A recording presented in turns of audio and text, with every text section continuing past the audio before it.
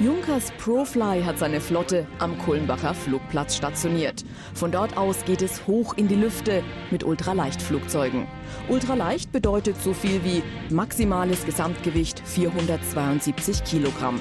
Der Flieger selbst kommt dabei so auf 320 Kilo und hat zwischen 50 und 100 PS. Wir verfahren eben so, dass die Leute, die Interesse an der Fliegerei zeigen, erst einmal einen Schnupperlehrgang machen. Wir machen eine kleine Bodeneinweisung, erklären mal, um was es überhaupt geht und dann kann ein Schnupperflug mit uns machen.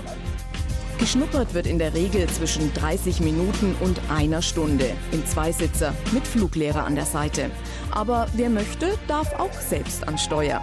Wen danach die Lust am Fliegen gepackt hat, der kann sich bei der Kulmbacher Flugschule zum Ultraleichtpiloten ausbilden lassen. Bis zum Flugschein kann es dann unterschiedlich lange dauern. Schnelle und ehrgeizige Schüler haben die Ausbildung schon in vier Wochen geschafft. Andere lassen sich auch gerne mal zwei Jahre Zeit. Doch eines sollte man auf jeden Fall vorher wissen.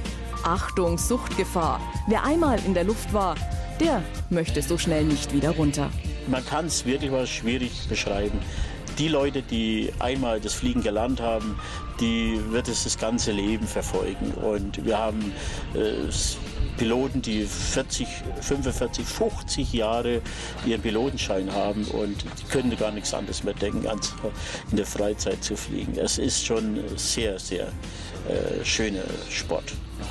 Zum schönen Sport gehört natürlich auch die Landung, aber die ist dann eher sowas wie das notwendige Übel. Denn das Schönste daran, wieder auf dem Boden zu sein, die Vorfreude auf den nächsten Flug. Genügend Flugzeuge und Lehrer hat die Kulmbacher Flugschule jedenfalls, sodass die Zeit am Boden nicht länger als wirklich nötig werden muss.